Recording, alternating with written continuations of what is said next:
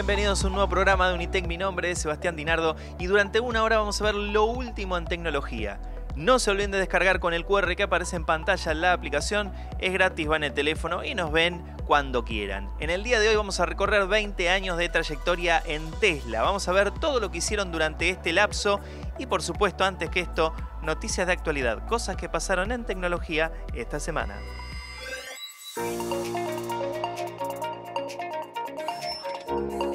La NASA investiga si un fragmento de desecho espacial se estrelló en una casa. Hace tres años la NASA desechó una enorme paleta de baterías viejas de la Estación Espacial Internacional con la esperanza de que se desintegraran al ingresar a la atmósfera terrestre. El 8 de marzo, un objeto cilíndrico de aproximadamente un kilogramo impactó contra el techo de una casa familiar en Naples, Florida, causando daños en el techo y el piso. Este incidente coincidió con la reentrada de la plataforma que se precipitó a través de la atmósfera sobre el Golfo de México el mismo día para finalmente dirigirse hacia el suroeste de Florida. Jonathan McDowell, un astrofísico que ha analizado los datos de miles de reentradas atmosféricas, incluida la paleta de la Estación Espacial Internacional, fue contactado por Otero, el dueño de la casa. A menudo recibimos reentradas como esta y alguien de varios cientos de millas de distancia diciendo, encontré esta cosa extraña en mi patio trasero que puede haberse caído hoy o puede haber estado allí durante una semana. Y pongo los ojos en blanco y sigo adelante, dijo McDowell. Pero esto llegó por el techo y lo hizo en el momento adecuado, en un lugar que era consistente con lo que era una pieza de la paleta, por lo que era prometedor como para hacer un seguimiento. El incidente no causó heridos a pesar de que había personas presentes en el lugar, según Alejandro Otero, propietario de la vivienda afectada, que dijo, fue un sonido tremendo, casi le da a mi hijo. Él estaba a dos habitaciones de distancia y lo oyó todo. Pensé que pudo ser un meteorito, agregó el padre profundamente indignado por lo sucedido en su hogar. Mientras tanto, la Agencia Espacial Estadounidense está llevando a cabo análisis sobre el trozo cilíndrico de casi un kilogramo para determinar su origen. Por otro lado, la comunidad científica sugiere que los restos de una batería desechada de la Estación Espacial Internacional son la causa más probable de este incidente. Los informes indican que un pallet de baterías de 2,9 toneladas utilizado para una actualización de las fuentes de energía de la Estación Espacial Internacional y descartado en marzo del 2021 podría ser responsable de este suceso. Este pallet representa el objeto más grande en términos de masa que ha sido desechado de la estación orbital hasta la fecha.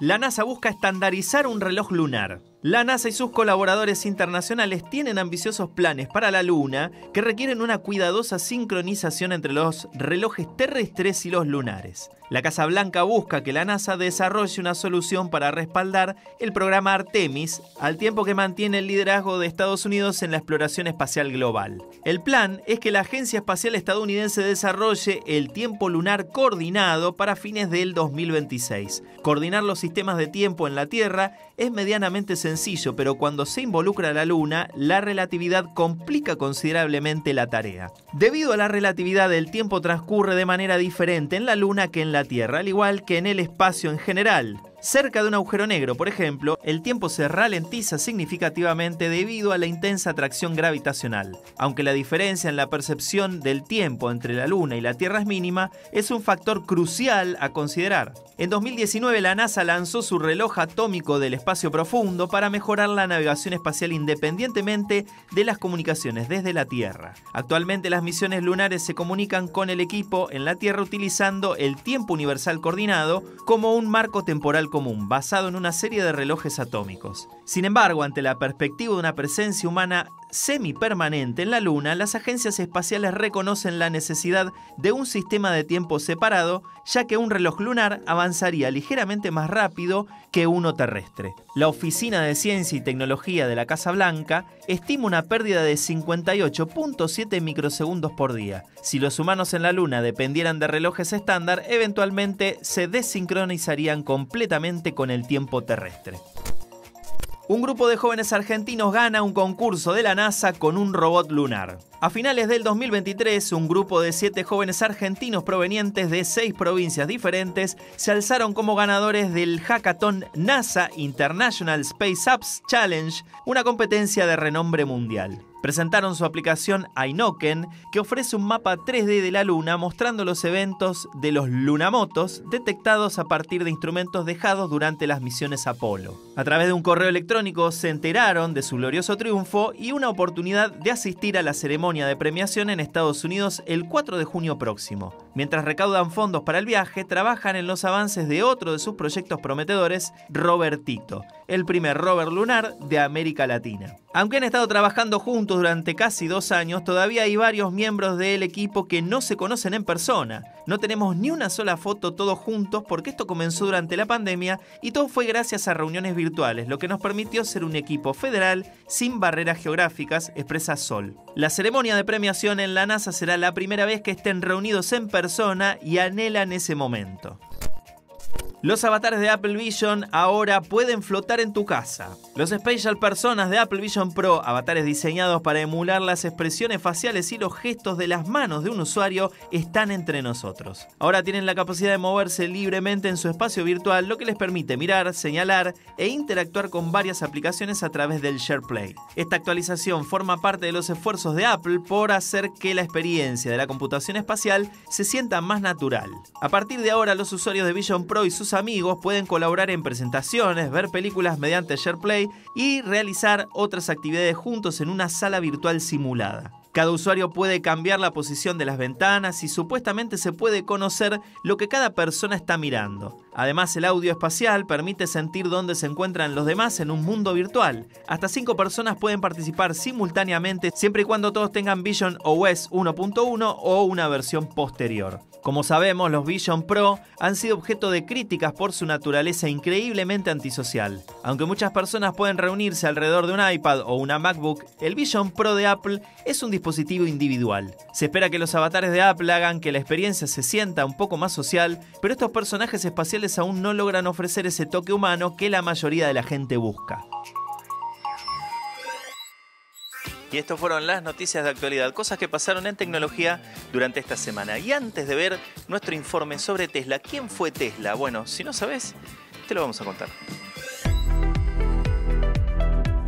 ¿Quién fue Nikola Tesla? De origen austríaco, Tesla dedicó una década a estudiar ingeniería y física, aunque no llegó a obtener un título formal pero ganó experiencia práctica a principios de los años 80 trabajando en el sector de la telefonía para Continental Edison, una empresa pionera en la floreciente industria eléctrica. En 1884 Tesla emigró a Estados Unidos, obteniendo eventualmente la ciudadanía estadounidense. Aunque su paso por Edison Machine Works en Nueva York fue breve, pronto decidió forjar su propio camino.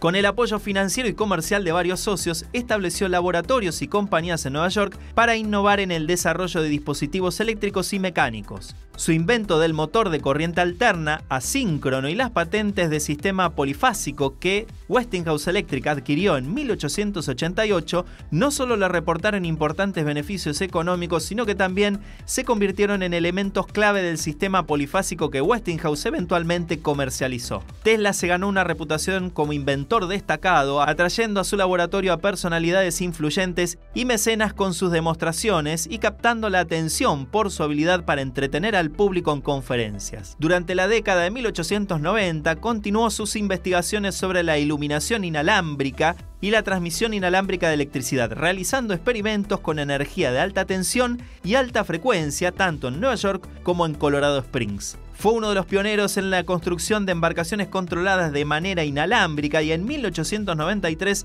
exploró la posibilidad de comunicación inalámbrica intentando implementarla en su ambicioso pero finalmente fracasado proyecto de la Torre Wardenclyffe destinada a la transmisión de energía y comunicaciones inalámbricas intercontinentales. A partir de 1910 los proyectos de Tesla no lograron el éxito esperado y falleció en Nueva York en enero de 1943. Tras su muerte su trabajo fue gradualmente olvidado hasta que en 1960, en reconocimiento a sus contribuciones, la unidad de medida para la inducción magnética del Sistema Internacional de Unidades fue nombrada Tesla. Desde la década del 90 se ha renovado el interés por sus aportes en el campo de la ingeniería. Ahora sabes quién fue Nikola Tesla, el que inspirara el nombre de la compañía. Llegó el momento, vamos a ver la primera parte de nuestro informe de los 20 años de Tesla.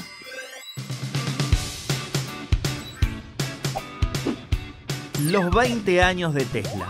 A pesar de enfrentar una serie de complicaciones en el 2024, Tesla se ha consolidado como la catorceava empresa más valiosa del mundo, con una capitalización bursátil de 566 mil millones de dólares a finales de marzo. Como fabricante líder de vehículos eléctricos, expandió su presencia global con fábricas operativas en tres continentes. Además, su director ejecutivo se sitúa como la segunda persona más rica del mundo en la actualidad. A lo largo de sus 20 años de existencia, Tesla ha enfrentado una variedad de desafíos y ha alcanzado importantes hitos. Ha presentado seis modelos de vehículos de pasajeros, incluidos los innovadores camiones Tesla Semi. La empresa ha establecido varias fábricas para satisfacer la creciente demanda de sus productos y ha demostrado fortaleza ante dificultades financieras, incluso sorteando la amenaza de la bancarrota. También ha navegado por complejos escenarios regulatorios con los organismos federales. La historia de Tesla es de perseverancia, innovación y adaptación en la industria automotriz y tecnológica, lo que la ha llevado a ser una de las empresas más influyentes y valiosas del mundo. En julio del 2003, los ingenieros de Silicon Valley Martin Everhard y Mark Tarpening fundaron oficialmente Tesla Motors en honor al ilustre inventor e ingeniero serbio-estadounidense Nikola Tesla. Más tarde, Ian Wright se uniría al dúo como el tercer empleado de la empresa. Elon Musk se sumó al equipo en febrero del 2004 como el principal inversor, aportando fondos obtenidos de la venta de su participación en PayPal dos años antes. JB Straubel se unió como director técnico en mayo del 2004. Por un acuerdo alcanzado en el 2009 entre Eberhard y Tesla, los cinco hombres son reconocidos como los cofundadores de la compañía. Eberhard presentó una demanda después de ser destituido como director ejecutivo, argumentando que su sucesor, Musk, intentaba reinterpretar la historia. En julio del 2006, Tesla reveló por primera vez un prototipo del Tesla Roadster basado en Lotus, y Elon Musk fue el primer destinatario en febrero del 2008. Al mes siguiente, la producción regular estaba en marcha. El Roadster marcó un hito significativo para Tesla como su primer vehículo eléctrico, representando un punto de inflexión en la nueva era de los vehículos eléctricos según el entonces CEO Seb Drory. Drory asumió el cargo de director ejecutivo en 2007 después de que Musk presionara para que Martin Eberhard renunciara. Hasta que fue discontinuado en enero del 2012, Tesla vendió 2.450 Roadsters a un precio de 109 mil dólares cada uno. Entre los compradores destacados se encontraban celebridades como George Clooney y Matt Damon, músicos como Michael Flia Balsari de los Red Hot Chili Peppers o el rapero Will I Am, y el ex gobernador de California y estrella de cine Arnold Schwarzenegger. Según Musk, Tesla presentará una segunda generación del Roadster a final de año con la producción programada para el 2025. Ha sugerido que el nuevo modelo va a contar con tecnología de cohetes utilizada por su empresa SpaceX. La última década de los años 2000 representó un tiempo difícil para las empresas estadounidenses y el sector automotriz no fue la excepción. Chrysler y General Motors se vieron obligados a declararse en bancarrota debido a la crisis financiera de 2008 y 2009, mientras que Ford Motors apenas logró evitar un destino similar. Elon Musk intervino para salvar temporalmente a Tesla de la bancarrota mediante una inversión inicial de 40 millones de dólares, seguida poco después por un préstamo de igual cantidad. En ese mismo año, Musk asumió el cargo de CEO reemplazando a Seb Drory. Sin embargo, a pesar de estos esfuerzos, Tesla aún enfrentaba una situación difícil a nivel financiero. En junio del 2008, el Departamento de Energía de los Estados Unidos otorgó a la compañía automotriz un préstamo de 465 millones de dólares a bajo interés, destinado en su mayoría a financiar la producción del recién anunciado Model S, un vehículo eléctrico de lujo. Fue entonces cuando Daimler, actualmente conocido como Mercedes-Benz, vino al rescate de Tesla. El fabricante de automóviles alemán adquirió una participación de casi el 10% de la compañía por 50 millones de dólares, salvándola de una situación financiera crítica. El 28 de junio del 2010, Tesla realizó su debut oficial en el Nasdaq, marcando un hito al convertirse en el primer fabricante de automóviles estadounidense en salir a la bolsa desde Ford Motors en 1956. Durante su oferta pública inicial, Tesla logró recaudar 226 millones de dólares, vendiendo 13.3 millones de acciones a un precio de 17 dólares cada una. Casi 14 años después de este acontecimiento histórico, Tesla se ha consolidado como una de las empresas más valiosas del mundo, con una capitalización bursátil de 570 mil millones de dólares. Sin embargo, a pesar de su éxito en el mercado de valores, el fabricante de vehículos eléctricos enfrenta desafíos durante el año actual registrando el peor desempeño hasta la fecha. En mayo del 2020, Toyota acordó invertir 50 millones de dólares en Tesla con la intención de transferir el control de la planta de Numi en Fremont, California, hacia Tesla. Esta planta, que había sido operada conjuntamente por el fabricante de automóviles japonés y General Motors desde la década de 1980,